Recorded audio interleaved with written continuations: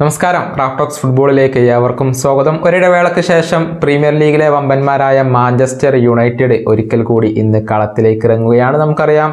കോവിഡിന്റെ പ്രശ്നങ്ങൾ കാരണം മാഞ്ചസ്റ്റർ യുണൈറ്റഡിന്റെ കഴിഞ്ഞ രണ്ട് മത്സരങ്ങളും മാറ്റിവെച്ചിരുന്നു. രണ്ടാഴ്ചത്തെ ഇടവേളയ്ക്ക് ശേഷം ഇന്ന് നടക്കുന്ന മത്സരത്തിൽ മാഞ്ചസ്റ്റർ യുണൈറ്റഡിന്റെ എതിരാളികൾ ന്യൂകാസിൽ യുണൈറ്റഡ് ആണ്. ഇന്ന് രാത്രി ഇന്ത്യൻ സമയം ഒന്നേ മുപ്പതിന് ന്യൂകാസിൽ യുണൈറ്റഡിന്റെ മൈതാനത്ത് വെച്ചാണ് ഈ ഒരു മത്സരം അരങ്ങേറുക. ഈ മത്സരത്തിനുള്ള മാഞ്ചസ്റ്റർ യുണൈറ്റഡിന്റെ സാധ്യത ഇലവൻ ഇപ്പോൾ പ്രമുഖ മാധ്യമമായ മാഞ്ചസ്റ്റർ ഈവനിംഗ് ന്യൂസ് പുറത്തുവിട്ടിട്ടുണ്ട്. അതായത് യുണൈറ്റഡിന്റെ പരിശീലകനായ റാൾഫ് റാഗിനിക്ക് നാല് രണ്ട് രണ്ട് രണ്ട് എന്നുള്ള ഫോർമേഷനിലായിരിക്കും യുണൈറ്റഡിനെ കളത്തിലേക്ക് ഇറക്കുക എന്നാണ് ഇപ്പോൾ അറിയാൻ കഴിയുന്നത്. ഇത് ഗോൾ കീപ്പർ സ്ഥാനത്ത് ഡേവിഡ് ഡിഹിയ തന്നെയായിരിക്കും. മാഞ്ചസ്റ്റർ യുണൈറ്റഡിൽ സ്റ്റാർട്ട് ചെയ്യുക ഇനി. വിംഗ് ബാക്കുമാരുടെ കാര്യത്തിലേക്ക് വന്നാൽ റാൾഫ് തിരഞ്ഞെടുക്കുക ഡിയഗോ ഡാലോട്ടിനെയും അതുപോലെ തന്നെ ബ്രസീലിയൻ താരമായ അലക്സ് ടെല്ലസിനെയുമായിരിക്കും.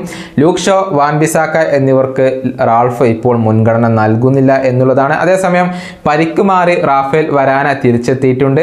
വരാനക്കൊപ്പം സെൻട്രൽ ബാക്ക് പൊസിഷനിൽ കളിക്കുക ഹാരി മഗ്യർ ആയിരിക്കും ഡിഫൻസീവ് മിഡ്ഫീൽഡർ റോളിൽ പതിവ് പോലെ ഫ്രെഡ് മക്ടോമിനെ എന്നിവരായിരിക്കും അണിനിരക്കുക. അതേസമയം അറ്റാക്ക് മിഡ്ഫീൽഡർ എന്ന രൂപേണ റാൾഫ് നിയോഗിക്കുക. ജേഡൻ സാഞ്ചോയെയും അതുപോലെ തന്നെ ബ്രൂണോ ഫെർണാണ്ടസിനെയുമായിരിക്കും. പോൾ പോഗ്ബ ഇപ്പോഴും പരിക്കിന്റെ പിടിയിൽ തന്നെയാണ്. ഗോളടിക്കാനുള്ള ചുമതല സൂപ്പർ താരം ക്രിസ്ത്യാനോ റൊണാൾഡോക്കും അതുപോലെ തന്നെ യുവതാരമായ മാസോൺ ഗ്രീൻവുഡിനുമായിരിക്കും. നമുക്കറിയാം യുണൈറ്റഡിന് വേണ്ടി ഈ സീസണിൽ പത്തൊൻപത് മത്സരങ്ങളിൽ നിന്ന് പതിമൂന്ന് ഗോളുകൾ നേടാൻ ക്രിസ്റ്റ്യാനോ റൊണാൾഡോക്ക് കഴിഞ്ഞിട്ടുണ്ട്. മികച്ച ഫോമിലാണ് അദ്ദേഹം ഇപ്പോൾ കളിച്ചുകൊണ്ടിരിക്കുന്നത്. ഏതായാലും യുണൈറ്റഡിന്റെ സാധ്യത ലൈനപ്പ് നമുക്ക് ഒരിക്കൽ കൂടി പരിശോധിക്കാം. David De Gea Dalot Varane Maguire Telles McTominay Fred Sancho Fernandes Greenwood Ronaldo എന്നിവരായിരിക്കും യുണൈറ്റഡിന്റെ ആദ്യ ഇലവനിൽ ഉണ്ടായിരിക്കുക എന്നാണ് നമുക്കിപ്പോൾ അറിയാൻ കഴിയുന്നത്. നമുക്കറിയാം റാൾഫിന് കീഴിൽ കളി രണ്ട് പ്രീമിയർ ലീഗ് മത്സരങ്ങളും വിജയിക്കാൻ മാഞ്ചസ്റ്റർ യുണൈറ്റഡിന് സാധിച്ചിട്ടുണ്ട് എന്നുള്ളതാണ് ആ ഒരു വിജയക്കുതിപ്പ് തുടരാൻ ഉറച്ചാവും ഇന്ന് യുണൈറ്റഡ് കളത്തിലേക്ക് ഇറങ്ങുക.